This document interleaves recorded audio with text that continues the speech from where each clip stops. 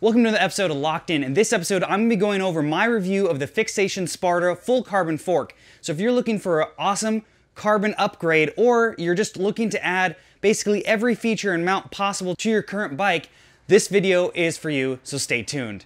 So in this video, I'm going to be going over the specs and the features, the price, ride quality, and my final thoughts on the Fyxation Sparta fork. If you're looking to pick one of these up, the link is in the description below. So first off, let's get into the specs and the features. This fork comes with essentially every modern mount possible that you can essentially have on a single fork. It is a full carbon tapered fork with Dynamo front hub routing, three pack mount so you can run a Salsa anything cage or just a standard bottle cage and run water on that as well. Fender mounts, it is flat mount for the disc brakes, but obviously you can get an adapter for post mount as well as it is a 12 millimeter through axle design. So this really ticks all the boxes as far as what you can essentially get on any fork that comes on any bike today. So if you have a bike that does run a tapered steer tube, you can essentially add front pack mounts onto your bike as well as dynamo routing everything else that I mentioned before. Now in this video footage, you're gonna see the black fork, that's how it looks stock. And a lot of this other footage is gonna be painted because I did paint that on my custom Poseidon X build. And if you wanna watch that, you can subscribe to this channel and check out that playlist as well. So a lot of this footage, it is gonna be custom painted, which I did. So you cannot, uh, unfortunately, order the Sparta fork this way from the factory. Next, as far as the weight goes, they claim this at 500 grams uncut. So that is a pretty lightweight fork for all this utility that you do get out of it, since obviously they do need to reinforce it slightly to carry the extra weight on the fork. And as for tire clearance, they rate this at a 700 by 42 in a 700C and a 650 by 50C on the website, but we'll be getting into that a little bit later in my experience. And lastly, it does have a 45 millimeter rake, and they do rate the three packs mounts to only carry a maximum of three kilograms. So make sure to double check that if you're loading this thing up, that your one cage can handle that kind of weight and that you don't overload it and you make sure to weigh your entire system that's hanging on the bike. So now let's get into ride quality. I rode this on my Poseidon X, which did come stock with a carbon fiber fork with an aluminum steer tube, and I rode the stock version of that bike, which is quick release. Now, I've put a ton of miles on this fork. I basically, when I did my custom build, put this fork on right away. I could definitely feel a little bit lighter front end and a really responsive, stiff, smooth ride. And I know saying those two words together doesn't really make sense, but I mean it in the sense of it is responsive enough to where I don't get a lot of wheel flex when really torquing on the bars or going on something really rough, but it does seem to dampen out a little bit more vibration than the initial stock fork did. Granted, I am running a bigger tire than the stock bike, so that could be part of it, but I've been really happy with this fork. As far as ride quality goes, I don't think you're gonna be disappointed. Now let's get into price. This fork retails currently at $420. Now that sounds like a lot for a fork, but if you really look into the market, typically forks with three pack mounts like this are usually at least $500 or more. So keep that in mind. This is actually a pretty affordable option and it still has all the mounts. There are some forks that are out there for $500 that only have bottle mounts on the fork so you couldn't run a three pack mount and carry as much weight as the Fyxation.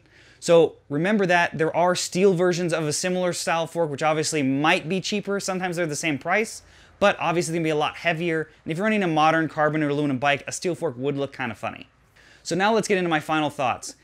First off, I wanna say that the tire clearance is definitely on the conservative side, and I get why most companies do this. I have run a 650 by 2.2 on the front and had no rubbing issues. It was a Maxxis Ikon when I did my bike packing video and I had no rubbing issues whatsoever. It is obviously a tighter clearance, but in California it's pretty dry. There's not a lot of mud. So if there was a lot of mud, I probably would have downsized to a 2.1, but I would say confidently you can run a 2.1. 2.2 is really gonna depend on how wide your rim is and how much it's gonna spread out your front tire. Now, as far as 700C clearance, I tested a 40 with no problem. I think a 45 would fit in here fine, again, depending on rim width. I did throw in a 50C, which didn't fit at all.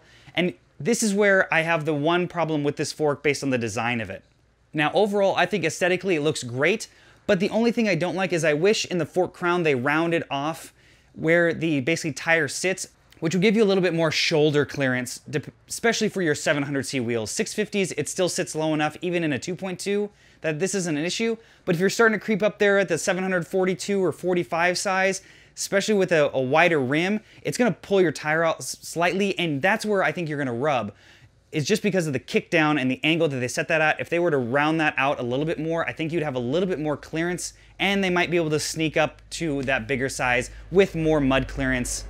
And the only other thing I wish they would have done is supplied a plug for the dynamo routing. I just didn't want any dirt or water to get in there. I found a random plug that ended up fitting in there. So I have a little rubber grommet on mine that you can see just to basically plug up the hole when it's not in use. So that's kind of a trivial thing, but it would have been nice. So realistically, those are the only two faults I can really see if you're trying to really push that tire limit, as well as they do recommend a certain fender if you want to run a fender on this. And I believe it's probably because of the design of the fork crown, but that's my opinion. So overall, I would definitely recommend this fork to anybody. The one thing you're gonna wanna check before that is you wanna check the rake, which is essentially the angle that the fork kind of kicks out. It is at a 45.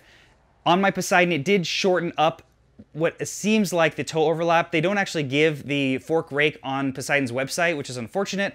Most bikes I've seen are either a 45 or a 50 millimeter rake, so I'm assuming the stock Poseidon was closer to a 50 or at a 50, so it did decrease the wheelbase, which made it snappier feeling, but it also introduced a little bit of toe overlap sometimes. So keep that in mind when you're looking at it. You wanna make sure to check your stock fork rake on your bike. If you have plenty of room and you actually wanna increase the turn in on your bike or shorten the wheelbase, having a slightly shorter rake might not be so bad, but make sure to double check that. I'm definitely not an expert as far as that goes.